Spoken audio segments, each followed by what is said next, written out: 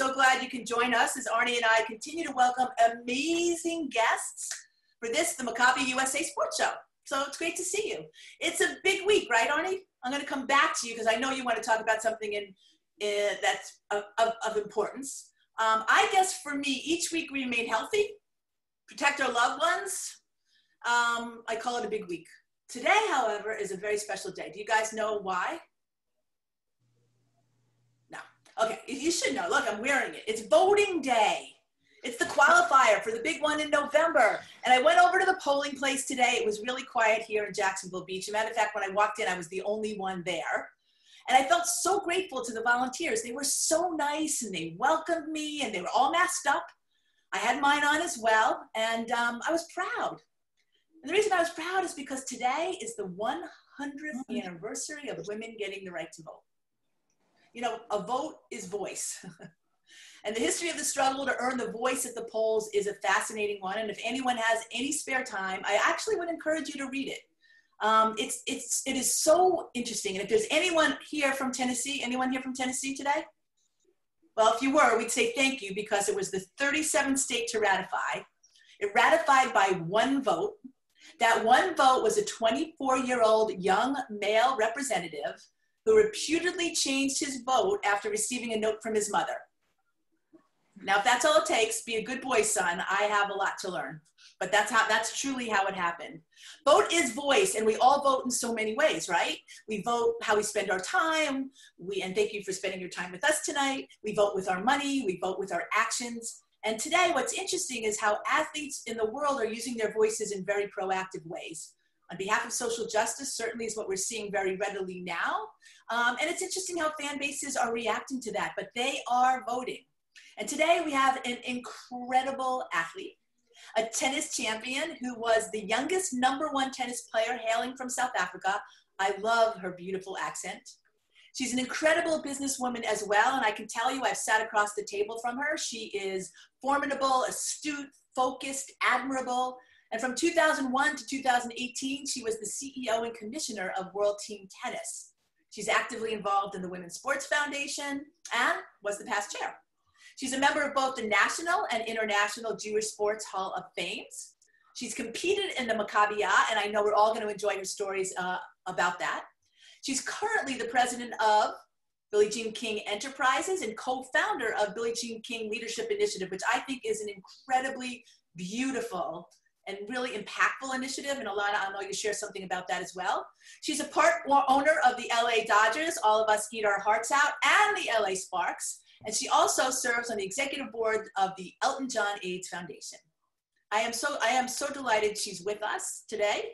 Uh, she's a woman with a voice for sure. She has used it to create change on and off the court. It is truly a joy to say welcome to Ilana Kloss. Hi, Ilana.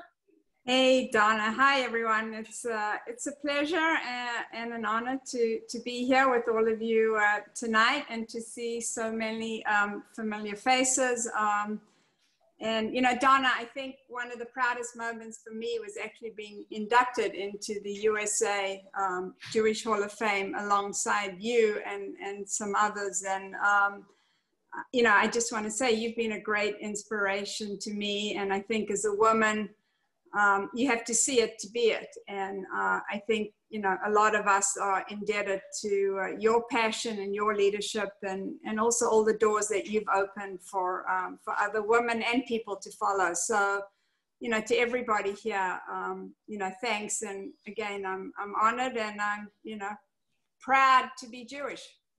Woo! Okay, so Arnie, I'm going to bring it to you, but before I do, one quick story. We were inducted together. And by the way, those words mean more to me than I can tell you. Totally unexpected, so thank you. Um, so we get there, Ilana's gonna get inducted and Billie Jean's with her. My mother was so uninterested in my own induction. Honestly, she did not want to talk to me. She didn't even hang around me. All she wanted to do was be around Ilana and Billie Jean King. So there you go. That's how I remember my induction was my mother's rejection of me, totally, um, for some much more impressive people. Anyway, Arnie, why don't you kick us off with some good questions? All right. Thank you, Donna. It's wonderful to be with you again for another great uh, Maccabi sports show. And uh, I am so honored to be with you and Ilana. I mean, two world class athletes, but even more important, the impact that you've made out, outside the, the lines and in making society a better place. So we're looking forward to a really great evening. And uh, before we start, you know, Donna, as we talked about a little bit earlier, it was wonderful to hear your commentary on on the on the vote, how important that is in today's time. And I think the other thing we we just wanted to make our audience aware of this week. I'm sure you are, but there really was a, a huge uh, announcement made with the Israel uh, UAE uh, deal that was reached midweek, and and there's a sports connection to that, as I hope many of you know that it was really a breakthrough a few years ago uh, with um, the sport of judo and uh, and Israel's participation in the UAE when they won the competition. We saw Hatikva played, and just like we saw many decades ago with ping pong and the Nixon era, where sports played a major role in, in, in breaking down some barriers, I think we saw that happen uh, with Israel and the UAE. And let's all hope that this is just the beginning of uh, other countries joining in peace and partnership with Israel and leading to what we ultimately hope will be a, a solution, a two state solution to a long standing conflict. All right, the editorials out of the way, politics out of the way. Um, Ilana, again, it's wonderful to have you. There's so many things we want to talk to you about tonight because your your background is so vast and your accomplishments are so incredible. But let's start back as a youth, uh, back in uh, South Africa, and just kind of talk about um, you know your interest in sports and tennis in particular, uh, and your family's involvement. Uh, I think many of us share that. I I, I came up and played tennis at, I made it through the junior varsity level of college, not quite your level, but my kids all made it uh, to different levels of tennis. And so tell us a little bit about your, your, your life as a youth and how you got interested in the sport of tennis. Yeah, absolutely. Um, thanks, Arnie. I, you know, I think I was um, very fortunate. I grew up in a um, very loving Jewish family. And in South Africa, um, tennis was a very popular sport, especially amongst the, uh, the whites. And um, my parents played tennis a lot. Uh, and, you know, every Sunday we would go to the tennis club and I would go hang out with them from three or four years old. And I just remember kind of hitting against the wall and, and falling in love with the sport. Um, but it is interesting. I, I, have to give a shout out to my sister Merle, who I think is is watching, um, because she sacrificed a lot. You know, when a family, when one kid in the family does something, the whole family goes along. And um, but but it was incredible, and I was, you know, I think timing is everything. And um, you know, as a kid, when I was 10 years old, all the best tennis players used to come to South Africa to Johannesburg and play in the South African Open. So I was a ball kid and I got to see the very best players in the world. I had um, parents that, you know, always, you know, ensured that both my sister and I could do anything. It was never really about um, whether we're a boy or a girl. They supported us. Um, and so, you know, I just, again, I, I was very blessed and um, South Africa, the weather's great. You can play outdoors all year round. So that was helpful. Uh, and, you know, um, my parents' parents came from Lithuania. Um, so, uh, you know, I've done my 23andMe and I'm going to head back to Lithuania hopefully sometime when COVID allows us to travel. But um, again, I, I, was, I had a great childhood and, um, you know, was very fortunate. You don't ever do anything alone. And um, I was given incredible opportunities and I also um, was mentored and got so much help from coaches and then of course from all the players that came from the rest of the world to South Africa in, in the 60s. You were Ilana. You were you were you met Billie Jean. I think I read you were a ball girl at uh, yeah. tournament at Johannesburg, right? And everybody wanted to be uh, a ball girl, a ball boy, and and, and you yeah. made it there. Is that how you first met? Yeah, I mean, again, my mom, you know, my parents, my mom sold programs, so she worked at the tournament in Ellis Park at Ellis Park as a volunteer. Um, I would, anytime we weren't picking up balls, I would be hitting on the courts. And um, one Sunday, I was hitting with my dad, and Billie Jean walked by the court and came onto the court, and she said to uh, to my dad, "Oh, I recognize your daughter. Do you, you know, I, she's been being ball girling for me. Do you mind if I hit a few tennis balls with her?" And you know, um, she came onto the court. She hit with me for ten or fifteen minutes, um, and she said to both my parents, "You know, your your daughter has a lot of potential. You should make sure." Um, she pursues it and if there's any way that i can help you know let me know and um, you know, that day I decided at 10 years old I was going to be a professional tennis player. I had no idea what it meant. There wasn't a professional tour. Um, but, you know, it just goes to show you how um, you have to see it to be it and how important, um, you know, uh, seeing live sports and connecting with, with people is. So again, that, that moment changed my life and, um, I know for everybody, there's usually someone in your life that gives you that opportunity or inspiration. And, uh, you know, for me, it, it was, uh, it was Billie Jean and then, you know, all the other players and, you know, from my coaches, from Sheila Summers to Russell Seymour to Simi Siegel. I mean, to all these incredible people who I think really gave so much so that I could have my dream. So let me ask you, um, Simi Siegel was your coach? so we know that uh, the Jews were in, if they were in South Africa, they were, they were in Joburg at that time, right? But were there are a lot of young girl, Jewish girls playing sports at the time? Uh, no, not too many, I have to say. Um, but you know, again, that my parents were amazing. Like whatever, because they liked tennis and because I wanted to play I mean, I even played on the boys cricket team, you know, at Orange Grove School. And I remember my mom, you know, going to the principal and fighting for me to be able to play because they didn't want to let me play because I was a girl. And I mean, that was just, you know, an amazing, as I look back now on my career and my life, and I, I'm so incredibly grateful for my parents. You know, it's too bad they aren't with, with us anymore, but, um, you know, they, they did everything in their power to ensure that their kids had a better life than they did. And even if it meant, you know, allowing me to go overseas and leave South Africa and leave them back in South Africa. And my sister followed me. So um, there were not that many young uh, Jews playing tennis, period. You know, you, you had to, if you were a girl, you know, find a good husband um, who was a doctor or a lawyer. Um, Uh, but you know they allowed us to follow our dreams and um, you know i'm incredibly grateful for them. Uh, but again you know the sport was just starting and timing is everything. And by the time i was 16 or 17 there actually was a uh, a professional tour and ironically, September 23rd of this year is the 50th anniversary of the birth of women's professional tennis. The original, and yeah, so you know, it's those people whose shoulders um, uh, we stand on. Right. I'll just tell you quickly. I don't know of all the tennis fans. I was at the Open last year, and Diego Schwartzman played.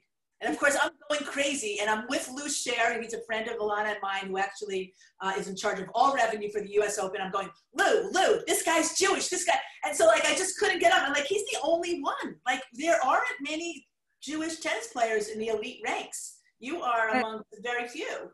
Yeah, they have, you know, Shlomo Glickstein, uh, Brad Gilbert, um, I, I, think uh, Shahar Peer, um, I'm trying to think of a couple who played in, in my era. Um, Stacy, I think you're on, right? Stacy That's so great to see you.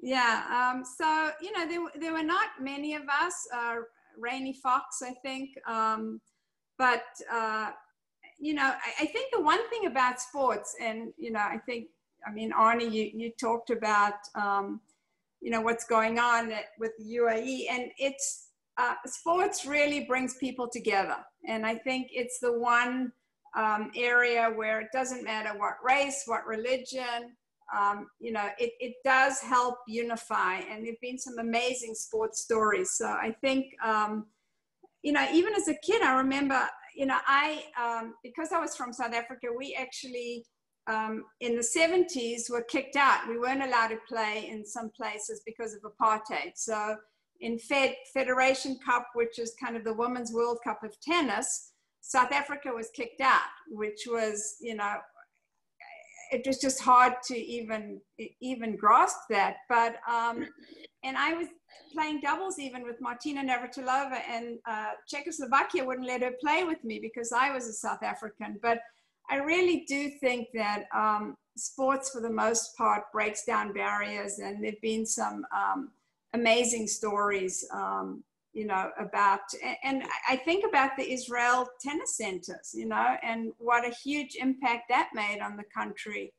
Um, you know, I was fortunate enough to go there. Ian Froman did an amazing job with that. So um, I think, you know, again, uh, sports is amazing. It is a microcosm of society and it does mirror what goes on in life, even though people tend to separate it.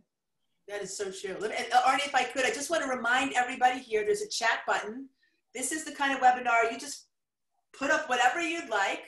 Um, uh, like Roy Kessel has family, he's, he's, he's connected to everybody, but Ilana, he says his cousins from South Africa, Alana and Gail Joss, play, you played with them.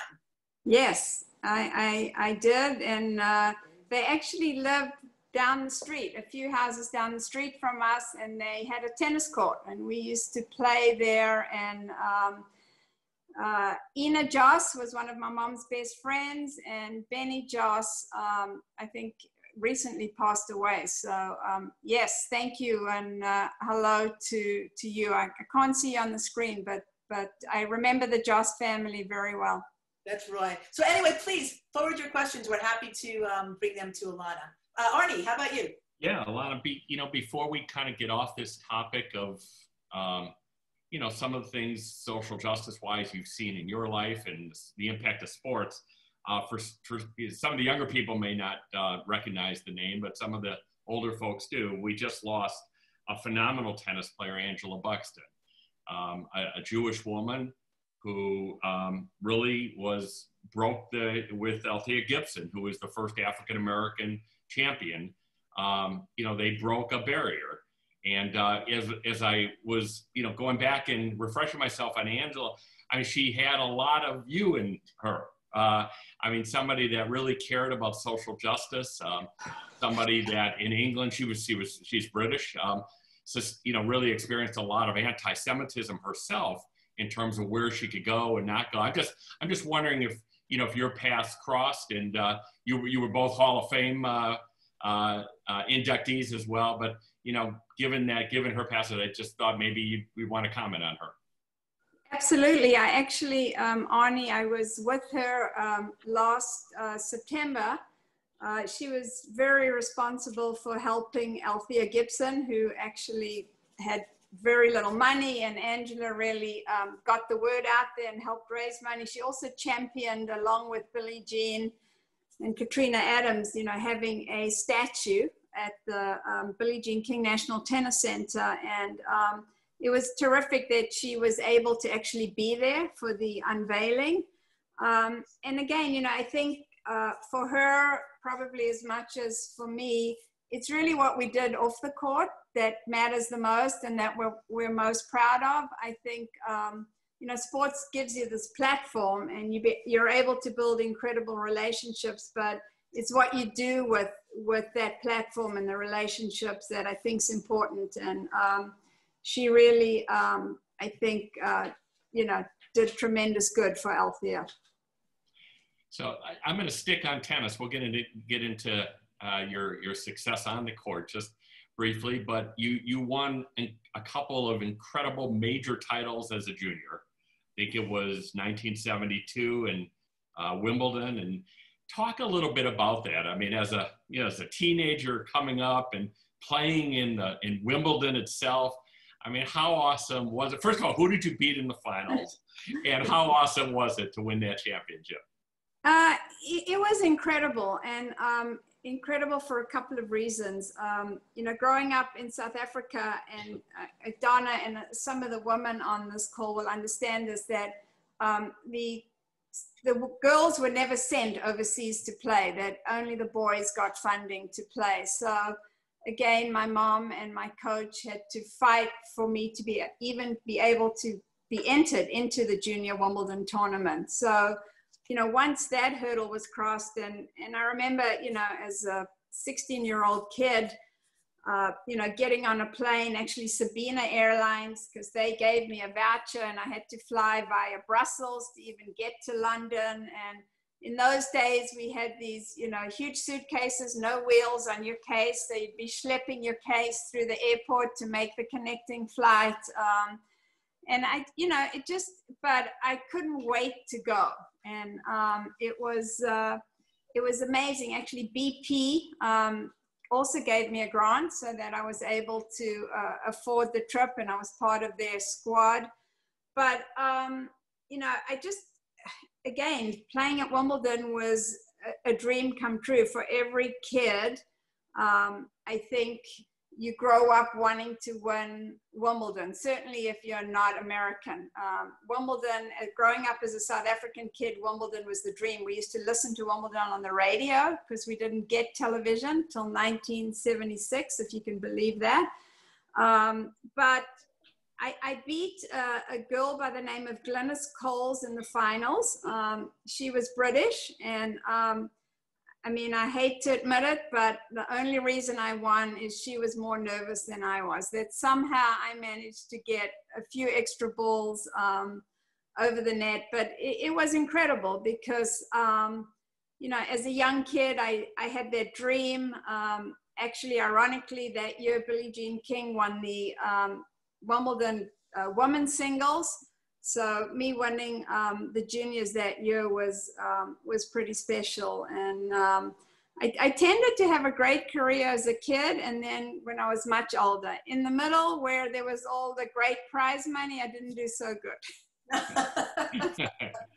I, I'm just I'm curious as a tennis fan, have been my whole life. Who who do you enjoy watching, both on the men's side and the women's side? Who just got you all excited? What was it about their, their personality or their games? So I, you know, I tended to love the players who kind of pulled you in and had, uh, you know, personality. So it was the the Jimmy Connors, the, you know, obviously I loved watching Billie Jean. I like watching people who served and volleyed, you know, and came to the net because that's how we learned. In Johannesburg, it was 6,000 feet altitude. So, um, you know, you it was hard to keep the ball in. But I mean, there's so many. I think every generation has great champions, and um, you know, to me, Chris and Martina were my era. Um, so they became good friends, and they were exact opposites, right? Chris was very steady from the baseline. Martina took a lot more risks. Um, but I mean, today it's such a different game. The, the players are incredible athletes. I mean, you look at you know, you started really with uh, the Monica Seleses and then the Venus and Serena, and you know now you've got you know Coco Gauff and Naomi Osaka. I mean, it's unbelievable. I today I I I think there was an article in Forbes magazine that nine out of the top ten um, money earners uh, in sports are women athletes, and um, it's just you know it's incredible. Um, how big the game uh, has gotten. And we were very lucky that tennis so early on had champions like, you know, Billie Jean and the original nine who, you know, fought, uh, fought for equal pay, um, which was amazing back in, in 1973. Amazing, amazing, amazing, amazing. Cannot thank them enough for what they did, how they did it, I, I mean, I, I, I, wherever I go, I, I talk about this because I just think you, you said it twice. You can't be it if you can't see it, and they and they allowed us all to see it. Not so much. Yeah, and I think um, you know, I think it's two things. It um, it, it is about the um, the message, right? Um, that it gives to people that you know, if if you're a dad, you want the same opportunities for both your sons and daughters. Uh, and then I think in some ways it is about the money because that's how people measure things. And, um, you know, if you have, if you do well and you make money, you can then do good with that, with that money. So I, I, I think people get upset when women, um, you know, want to play for the money or talk about money. But but money does empower you, and I don't think there's um, you know there's anything wrong with that. Totally agree. And just so you know, Scott Calb, we have all these people now listing all the Jewish tennis players, which is kind of Tom Tom Okker, the Dutchman, was Jewish. I did not know that. Harold Solomon, Gladys Hilden. Yeah. yeah. That's pretty yeah. interesting, eh? Yeah, no, Harold was oh, great. Sharon he, Fichman from Canada. There we go. Yeah. So um, there, we're growing by leaps and bounds here. It's amazing. Arnie. Well, those are great names, by the way. Uh, Harold Solomon brings back a lot of uh, a lot of great memories. That that man could hit from the from the uh, baseline and stay in stay in matches for quite a while. Um, I just you know let's stay on tennis just for a second here. Um, talk about talk about the different Grand Slams. I mean, you know, you have different surfaces from grass in Wimbledon to, to clay uh, in um, in in France. Um, where did what surface did you grow up with in terms of your training, and how difficult was it, both as a singles and a double player, to kind of go from one surface to another? So, um, you know, actually in the 60s and, and 70s, three out of the four major championships were on grass. So mm-hmm. Australia was on grass, Wimbledon was on grass, and um, and the US Open was on grass. It, it's only probably in the last, I'd say 30 years that they now are on kind of four different surfaces, although Australia's hard court, which is pretty similar to the US Open. The French is clay, and, um, and obviously US Open um, is hard court at Wimbledon grass. So, I mean, they are different. I think, uh, you know, the, the clay surface is a little bit slower, and so you have a little more time. Points tend to be longer. Um, but the circuit, uh, the way it is now, the calendar is kind of built in blocks. So there are a whole bunch of tournaments on the different surfaces that kind of prepare you, you know, for each of the uh, the four um, majors. So, um, you know, and I think nowadays people don't come to the net as much as they did uh, in the 60s, 70s. Um, we used to serve and volley. That was really the game because the grass courts the, you never knew how the ball was going to bounce.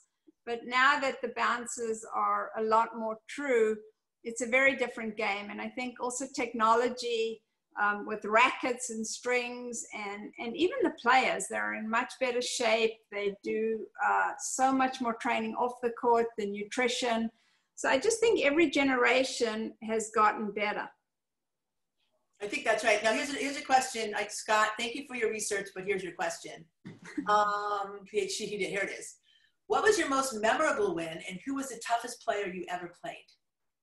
Wow. Um, so I think my most memorable win um, probably uh, was uh, two, two, two victories. One in doubles, which is winning the U.S. Open um, in, in 1976 uh, with my uh, South African doubles partner, Linky Boshoff. Um, we were not expected to win, and um, so that was pretty exciting. We were going to actually onto the Atlanta tournament the next week, and the whole of the second week, from the quarterfinals to semifinals to finals, we kept bringing our luggage to the courts because we thought we were going to lose and have to leave.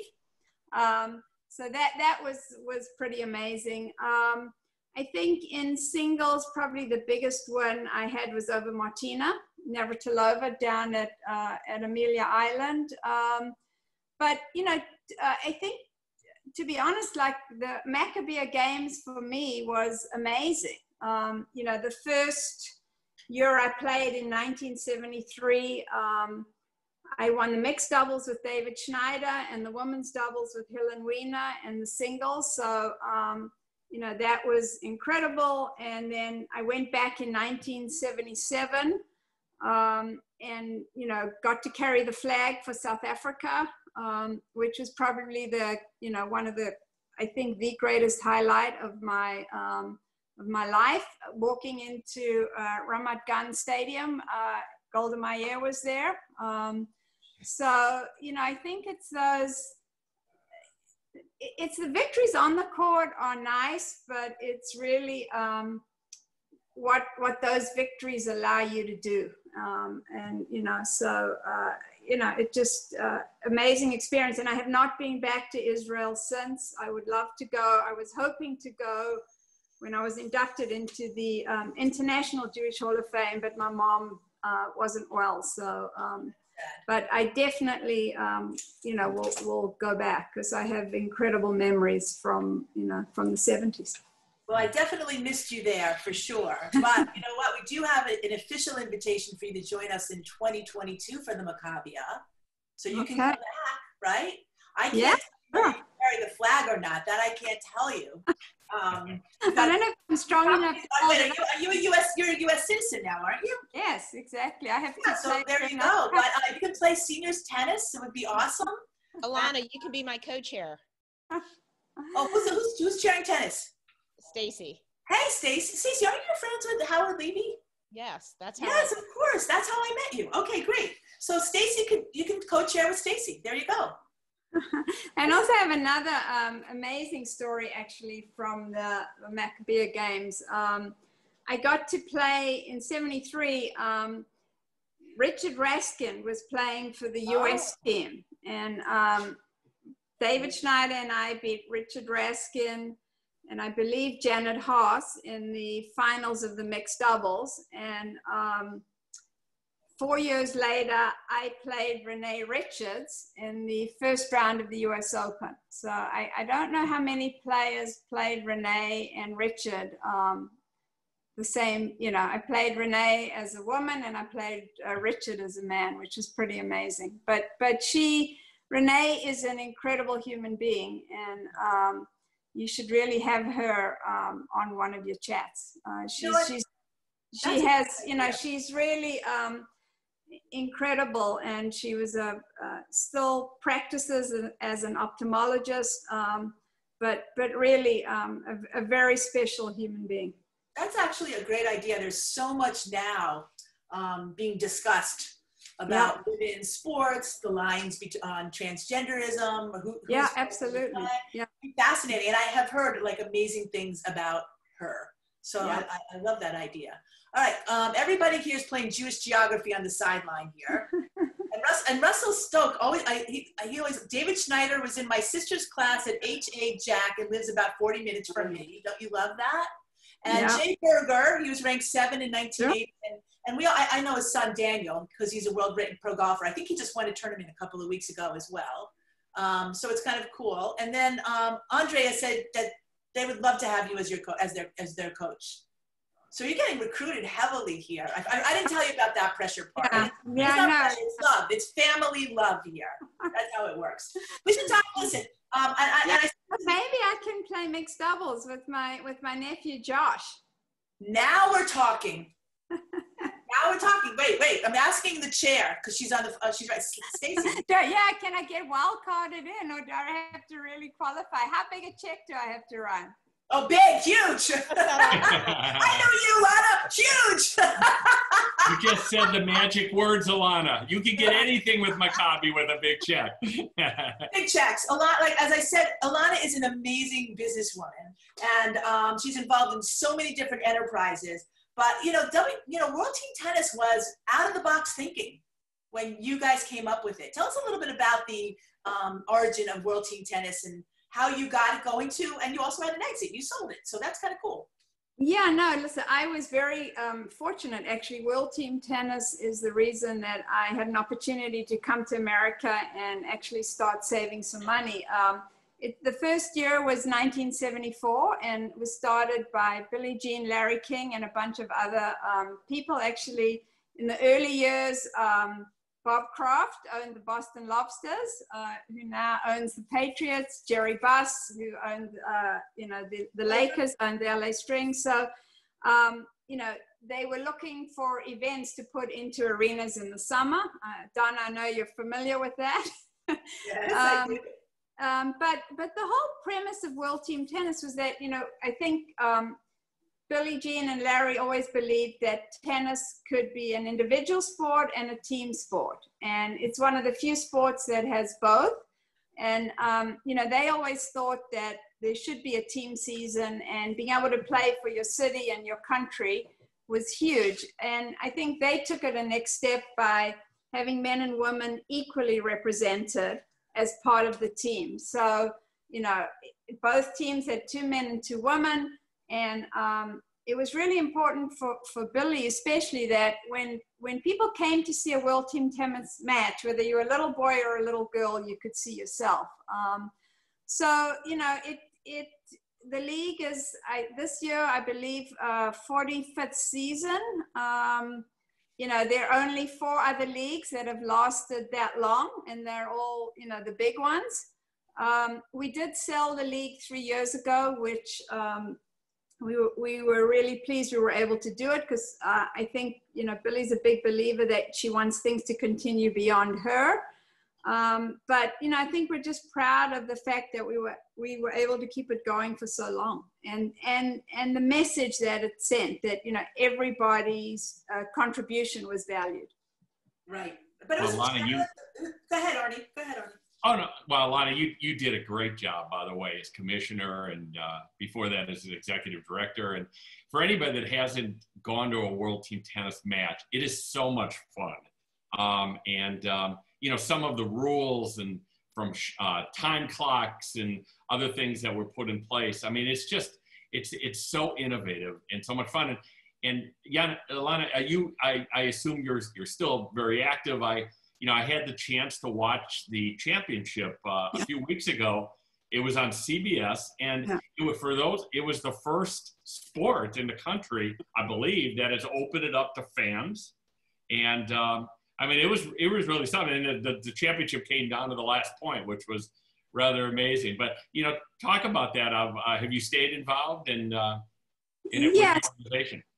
Yeah, so we, we still own the Philadelphia Freedoms team, uh, which is one of the teams in the league. And um, actually, Billie Jean did go down to the Greenbrier where the championships were held. And um, they brought all the nine teams to the Greenbrier and had a bubble. And um, you know, really amazing. Everybody stayed healthy, uh, which which uh, I think obviously is the most important thing, and um, obviously limited fans. But it's uh, it's amazing as I sit here in New York, and the preparations for the U.S. Open are beginning, and players are starting to arrive. Uh, and yet they won't have any fans, uh, and you know it's so it's it, it, we're very proud of the fact that we were able to keep people healthy and um, and that the finals were so great. So thank you for saying that, Arnie. Uh, Donna, can I can I can I move into just one other area and, and then I'll turn it back over. But you know, I think all of us with COVID are watching the sports scene every day, professional, how they're coping, but um, also the collegiate area. And you know, you and Donna as incredible leaders, and I know you've been involved with uh, WSF for a number of years.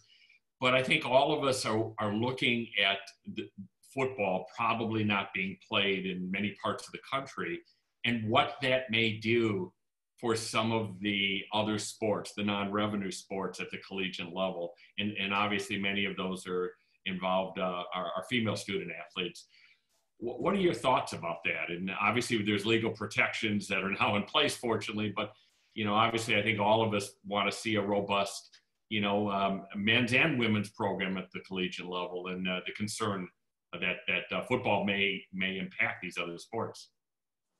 Yeah, no, I mean, uh, you know, it's it's definitely a concern because you know, um, women's sports, women's jobs in general are the first to get cut. So. Uh, thank God for Title IX, which does provide some protection. Um, and for those of you who don't know what Title IX is, you should look it up. Probably the uh, 37 most important words of legislation um, that were, were, were ever passed in, in 1972. And really what that law said was that any high school or college that was given uh, federal funds had to spend those funds equally on boys and girls. And it actually really wasn't about um, sports. It was about education and sports was tagged on. And in those days, there were quotas for women lawyers and women doctors, usually only about 5%. So Title IX really changed that. And it also really opened up um, the world for women's team sports. You know, Donna was the, I think, second commissioner of the WNBA and now there's you know women's professional soccer and and and lots of other things. But but Arnie I think you're you're right. Um, a lot of money uh, comes from college football. Um, and you know uh, that not that many programs make money from college football but the alumni loves college football and supports the school. So it's definitely a, it's a huge concern. The only thing I'll say about tennis is because it is a, uh, a co-ed sport and boys and girls um, can play, this would be a great opportunity for the colleges actually to, um, to adapt world team tennis and have one team, two genders, um, which will keep tennis alive uh, within schools. But there's no question that, um, you know, we have to be alert and we're going to have to fight to ensure that um, you know, women's collegiate sports stay strong. And I mean, Donna, you could probably talk to that better than I. No, I think you've done a beautiful job, but you raised an issue that we can all actually become even more aware of together, and that is in the Maccabi movement.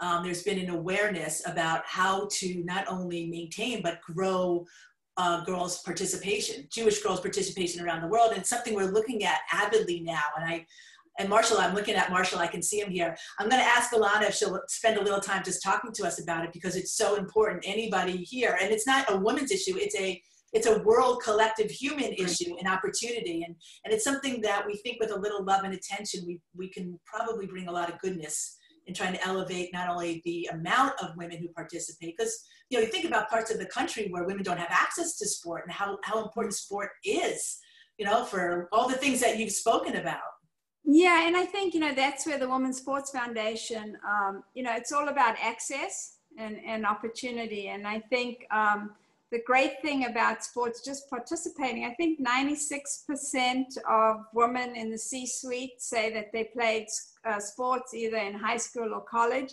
But, you know, for a woman, that's where you kind of learn the rules. I mean, you know, the guys made the rules, and if you play sports, you kind of learn the rules. So I think it's, it's important from a health perspective and it's also i think important from an integration into the business world um, you know as well. And i just think you know sports um, strong body strong mind. And and i think you don't have to be a champion athlete but i think it's really important to be active. And i think it's hugely important for dads to encourage their daughters and you know to play with them. Um, and moms too. Uh, you know, just I think it's the greatest gift you can give anyone in the world, just an opportunity to feel good about their body and be active.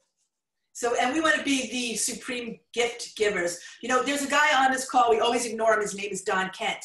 But if his wife is watching, um, she is a supreme fan of women's sports and an excellent filmmaker. So I'm hoping that she's paying attention to all the brilliance you are offering tonight because it's really, it's really terrific. Arnie.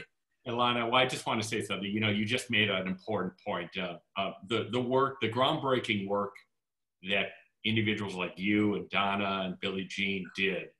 Oh, well, paved the way so that for all of our daughters, when my daughter now plays sports, we don't even think about the fact that there was a time when those opportunities didn't exist.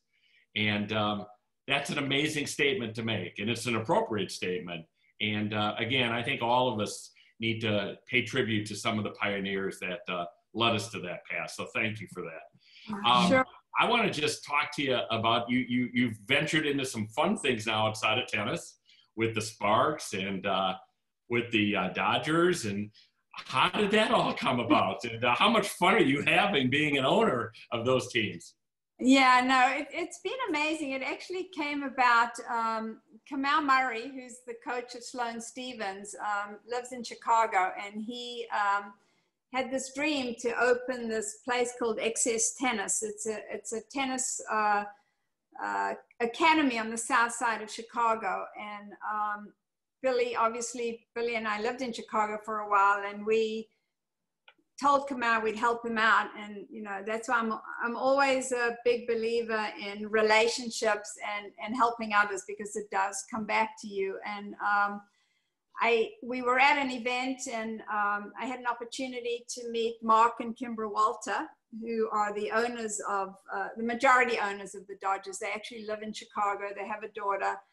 and um, just spend some time with with Mark, who um, you know really fascinating guy. And uh, it was funny. He he said to Billie Jean and I, you know, geez, it would be really great to have you involved in some of the things we're doing. You know, what about the um, the LA Sparks? Billie, like he didn't even finish saying Sparks, and she said, "Well, how about the Dodgers?" and and he said, "Why not?" And you know, the the fact is that sometimes you have to ask, right? And and um, he said, "Absolutely." And so. I think what's been amazing um, for me to see because you know I I had the benefit of Billie Jean fighting so that I would have the opportunities I have today and and you know being by her side and and seeing her every single day fight to ensure that others have you know opportunities um, is amazing. And to actually now be sitting at the table with her because most of our life and i think a lot of women donna you uh, you've been at the table too but for a long time you know we've been outside the door looking in and just hoping that you know maybe we'll get in for a minute. And so i think symbolically it's huge to actually be at the table and be part of um, the organization and you know what i'll say is that it it having different ideas and different men women you know it doesn't matter what your gender is uh, what your your religion, your race. I think it's so important to have different voices at the table. It only makes um, any organization stronger. And so, for me, um, I'm so I'm excited for myself because it's really cool, and you know I get great seats. Although even we didn't play baseball in South Africa, but I'm learning.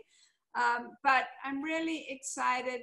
Uh, for Billie and the message that it sends to other women, you know, that that you have to keep pushing. And if we've made it easier for other women to follow in our step, footsteps, that's great. Without a doubt.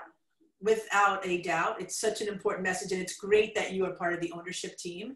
I'm hearing a lot more about a lot of, I mean, look, let's look at what happened in, uh, in WSL, where we had that great sort of celebrity superstar ownership team Je, you know, Jessica Chastain, Natalie Portman, Serena, and Serena's husband, I guess, Alex Ohanian, um, to own a women's soccer team, right? Again, another very powerful message.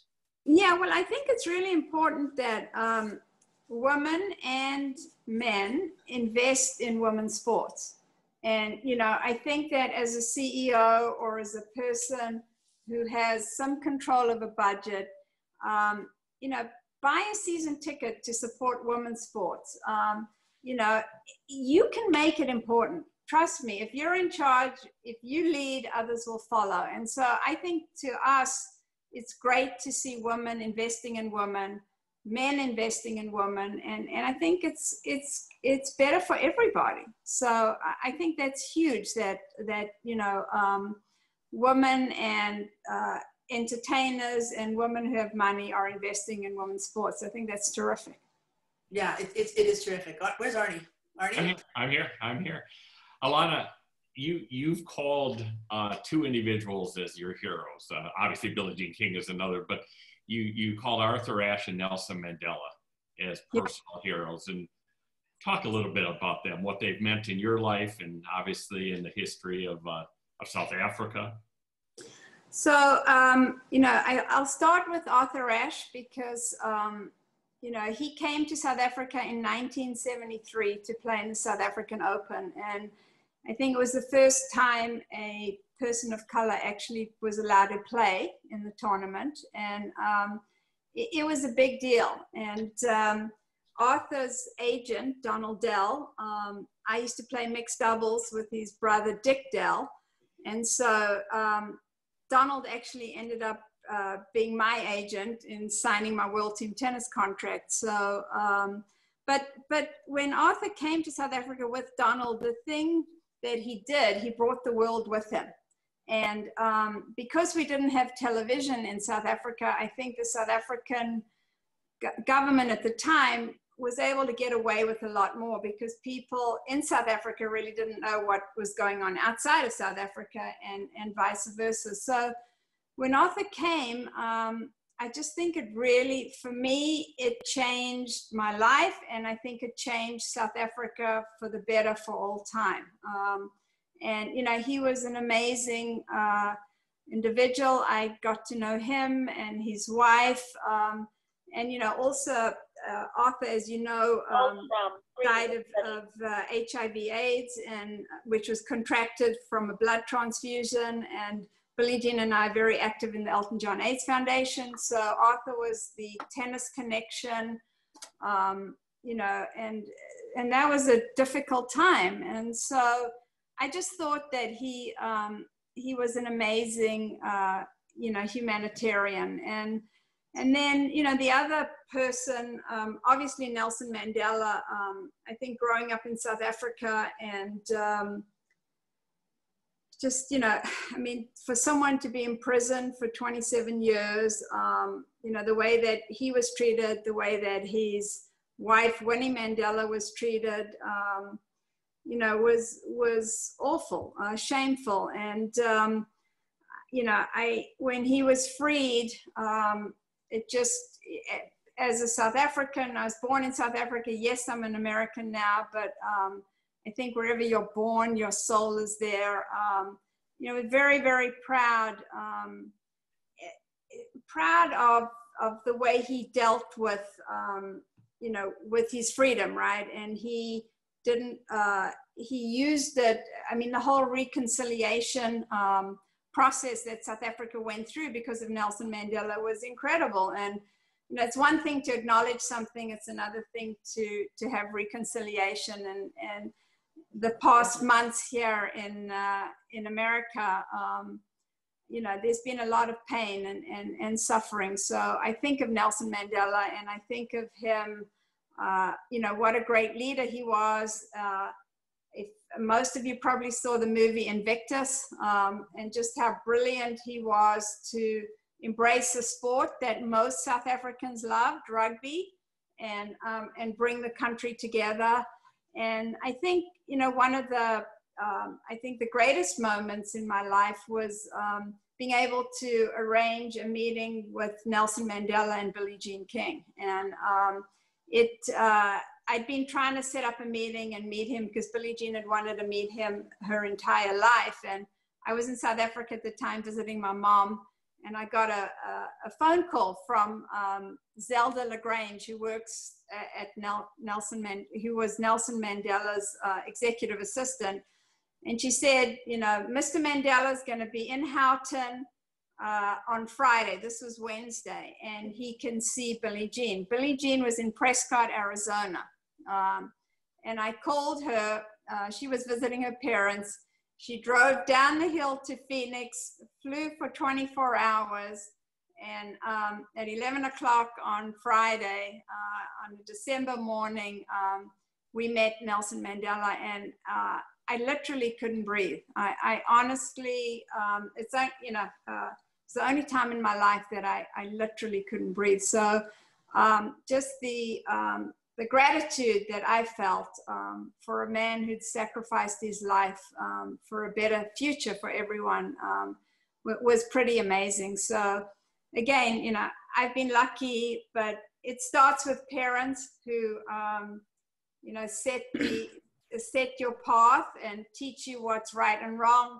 As a young kid, my parents, um, when I was 12 years old, I was playing in a junior tournament in, in, at Ellis Park in South Africa, and the finals fell on Yom Kippur, and they made me default, and I was so mad at them. I cried my eyes out, but I came to understand that you know sometimes you have to do the right thing, and I was always taught that. And um, again, I was lucky to have people like Billie Jean, Arthur, and and Nelson Mandela in my life along with my family because um, you know that's the, those are the true heroes really you know the people who help you every single day those are some wonderful stories thank you for sharing them with us if that doesn't put it in context i don't know what it, it what does Andrew Weinberg said, Ilana, thank you for your leadership, for your contributions to the world, and for being a game changer in sports and in the corporate world. I want to quote another great person. I think it was you tonight when you said, sports gives us a platform, but it's what you do with it that matters. And what you have done with it and what you're continuing to do with it truly, truly does matter. And I can tell you, you imbued all of us tonight with pride, right? Mm-hmm. You make us think about the value of our family, the fact that we don't do anything alone, the fact that we compete as Jews, your experience as a South African, then coming to the world, all your stories, the success you've had, the fact you've taken this time with us. We are so grateful. And um, we're booking your flight for 2022, just so you know. All right, I'm there. I'd love All right, there we go. We're good. But I want to thank everybody. Obviously, we all owe a debt of thanks to Ilana. Um, so appreciate your candor and your stories. I want to thank our entire MS, MUSA team, of course. I saw Marshall and Mackenzie and Dan, our producer, Steve and Shane, of course, and Don Kent and all of our volunteers and officers. Jed, it's good to see you again, who are doing great work showing how sports is such a vital social and life-changing force. Next week, you're gonna love this, Ilana. Nancy Lieberman's gonna be joining us. Oh my goodness, she's had so many firsts on the basketball court. She was the youngest player to earn a basketball silver medal in the Olympics and the first woman to be a head coach of a men's, professional basketball team and the second assistant female. I think she came right after Becky to coach in the NBA. And yeah, and don't don't don't forget she coached Martina Navratilova. She helped get her in incredible shape. So there's. I remember that. I forgot about that. That's right. That is exactly right. I totally forgot. So there you go. It should be a lot of fun. Uh, remember, everyone, let's keep up the momentum about voting. It's not until November, but let's make sure everybody votes. We'll be using our voices in a very important way. So thanks again, everybody, and uh, have a great night. Bye. Thank you so much. Thank you. Bye, everybody. Stay safe.